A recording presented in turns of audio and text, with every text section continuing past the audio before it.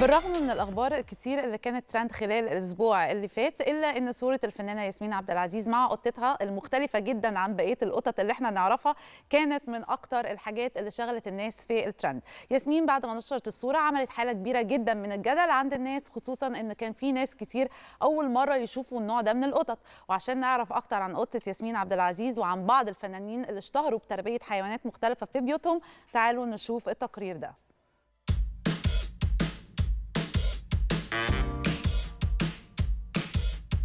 القطة سفينكس أو القط الكندي اللي ظهرت بيه النجمة ياسمين عبد العزيز على السوشيال ميديا وأثارت حالة كبيرة من الجدل والرعب عند متابعين ياسمين ما كانتش هي أغرب حيوان بيمتلكه النجوم في مصر والعالم. صحيح النوع ده من القطط بيعتبر الأغرب والأغلى لأن سعره بيوصل لحوالي 150 ألف جنيه مصري. لكن ياسمين مش الوحيدة اللي مهتمة تربي أنواع نادرة ومختلفة من الحيوانات. الممثل والحاكم السابق لولاية كاليفورنيا النجم أرنولد شوارزنيجر اشتهر بعشقه الكبير لتربية حمار وحصان من نوع بوني لدرجة أنه نشر صورة ليه على صفحته الشخصية على إنستجرام وهو بيشاركهم وجبة الفطار على السفرة. الحمار أطلق عليه الفنان الأمريكي اسم لولو. والحصان سماه ويسكي.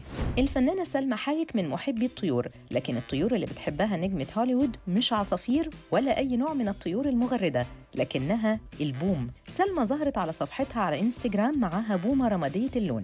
الغريب في الموضوع إن البومة ظهرت وهي بتصفف شعر سلمى.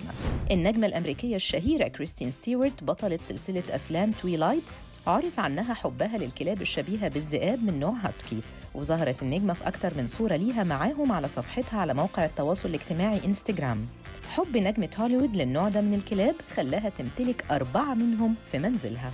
ومن النجوم المصريين هنلاقي الفنان أحمد فهمي اللي اشتهر بحبه الشديد للكلاب لدرجة امتلاكه مزرعة للكلاب. حب فهمي للكلاب خلاه يعمل صفحة خاصة لكلبته زيزي على انستجرام وكمان ظهر في أكتر من صورة مع أنواع مختلفة من الكلاب اللي بيمتلكها.